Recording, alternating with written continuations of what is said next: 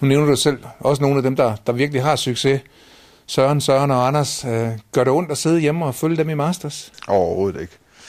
Uh, det gør ondt at ikke være med i Masters, men det gør ikke ondt, at de, uh, de spiller Masters. Jeg, jeg har altid ønsket dem, dem alle sammen det bedste for deres karriere. Jeg har haft mine år, hvor jeg har været langt foran alle andre i dansk golf.